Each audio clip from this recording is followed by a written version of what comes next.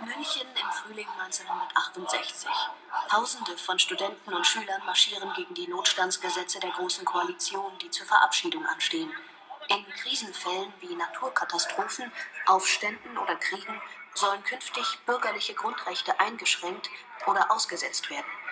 Dagegen richtet sich massenhafter, von der außerparlamentarischen Opposition getragener Protest, der die gesamte Bundesrepublik erfasst hat.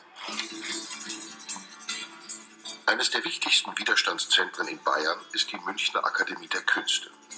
Acht Professuren, sechs Assistenten, 94 Prozent Studenten gegen Notstandsgesetze steht auf einem riesigen Transparent an der Außenfassade des Gebäudes.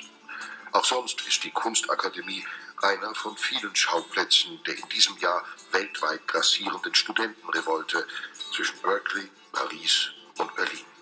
Motorrad, äh, der Tag des Zweirads hat es geheißen. Da sind sie also mit Motorrädern durch die Akademie gedüst und Fahrrädern und, und äh, Rollschuhen. Das war so ein lockeres äh, auf dem Topf.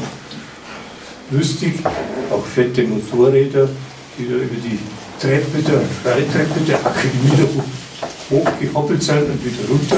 Also das war eine richtige Spaßgeschichte. Ah, und diese Schmierereien, die ganzen Gänge waren drauf und runter versaut. Hier ist nur, also vor zwei Tagen war es in der Südwest noch, das Bild, wie das ausgeschaut hat. So, Haut, den Huber und den Zuber, so Geschichten. Da waren wir auch gut dabei.